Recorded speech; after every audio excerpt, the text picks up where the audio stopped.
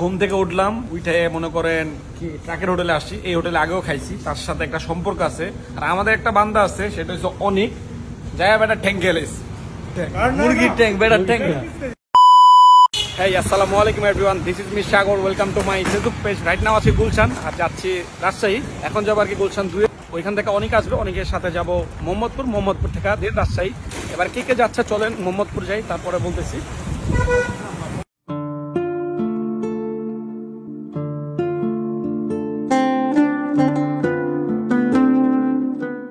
Guys চলে আসছি আমি গুলশান দুই নম্বরে। এখানে অনেকের জন্য ওয়েট করতেছি। ও আসতে একটু লেট হবে, কারণ ট্রাফিক সিগনালে পড়ছে ও। আর ট্রাফিক সিগনালে পড়লে তো অবস্থা খারাপ হয়ে যায়, এটা তো বুঝেনি। আর এখান থেকে রংপুর দেখতেছিলাম, ভাবলাম একটু আড্ডা দিয়ে যাই। রিক্সা থেকে ডিরেক্ট চলে আসছে গাড়িতে। অনেকে আসছে, আমার জন্য হেল্প হয়েছে নয়তো আমার পাঠাও দেওয়া কিংবা সিএনজি দেওয়া যেতে হইতো। আর ও আসাতে আমার জন্য অনেকটা উপকার হয়। তো এখন যাচ্ছে মোহাম্মদপুর। আর যেই পরিমাণ গরম পড়ছে, যাচ্ছে আরও গরমের শহরে। বা রাজশাহী আরও টেম্পারেচার অনেক বেশি। তো দেখা যাক কি হয়। গাইস কাহিনী যেটা হলো সরণী সিগনালে প্রতিনিয়ত এই সিগনালটা আমি পড়ি। এতক্ষণ যাবৎ আসি বিশ মিনিটের উপরে আছি। এই দেখেন একজনে বাইক থেকে নাইমা দাঁড়িয়ে গেছে গা। আর বাইরে তাপমাত্রা কি বলব? সন্ধ্যাবেলা এত পরিমাণ গরম, ভাই। এখানে স্টোরি নিতেছে বেড়া এখনও ছাড়তেছে না, কখন ছাড়ে আল্লাহ জানে। আমরা আধা ঘণ্টা হবে এখানে আসি কখন ছাড়ে, দেখা যাক।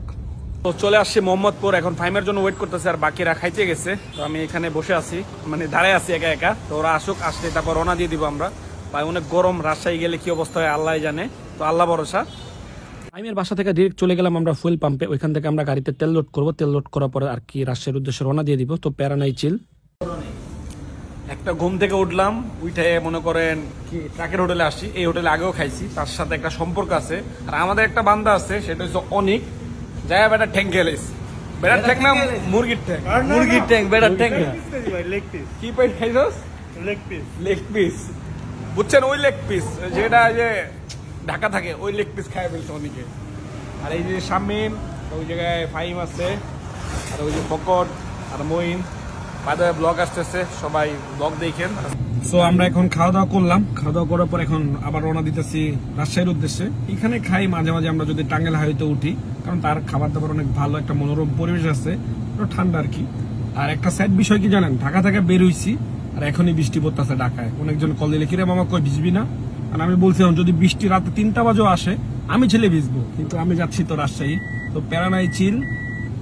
গাইস খাওয়া দাওয়া শেষ করে একটা ঘুম দিছিলাম। ঘুম থেকে উঠে দেখি এখনও হাইওয়েতে আছে। আমি ভাবছিলাম আমি রাজশাহী পৌঁছায় গেছি, কিন্তু না, আর কিছু রাস্তা আছে। আর এখানে দেখলাম একটা বাইকার ভাই বাইক চালাইতেছিল। এই বাইকার ভাইয়ের বাইক চালানো দেখে আমারও ইচ্ছা জাগলো যে একটু যদি বাইক রাইড করতে পারতাম, ভালো লাগতো। আর অবশেষে চলে আসলাম রাজশাহী। আর রাজশাহী এই রাতের ভিউটা আমার কাছে খুব ভালো লাগে। আর যদি বৃষ্টিটা পেতাম আর একটু ভালো লাগতো। এদিকে আমি ছিলাম অনেকের গাড়িতে। অনেকের গাড়ি থেকে চেঞ্জ হয়ে আমি গেছিলাম ফাইমের গাড়িতে। আর ফাইমের স্টুডি নিয়ে দিতেছিলাম। আর মামা এত ফুল ভাইবে ছিল। আর মামা তো সে এনজয় করতেছিল।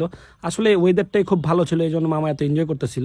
মামার নাচানাচি দেখে আমিও আর সইতে পারলাম না, আমিও নাচতেছিলাম পিছনে আজমির ওরা ছিল, ওরাও নাচতেছিল আসলে খুব এনজয় করতেছিলাম আমরা, ভালো একটা মোমেন্ট ছিল আমাদের। আপনারা অনেকেই বলেন আমাদেরকে, ভাই, আপনারা এত জার্নি কীভাবে করেন? আসলে আমরা এনজয় করি দ্যাটস আমাদের জার্নি গুলা এইভাবেই শেষ হয়ে যায়। শেষে চলে আসলাম হোটেলের নিচে, আর এখানে অনেক ভাই বেদার ছিল, তাদের সাথে আমাদের অনেকদিন পরেই দেখা হয়েছে।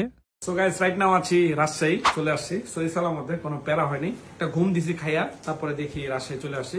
তো কালকে দেখা হচ্ছে, আর আজকে এখানে বিদায় নিচ্ছি। Have fun peace love you আসসালামু আলাইকুম।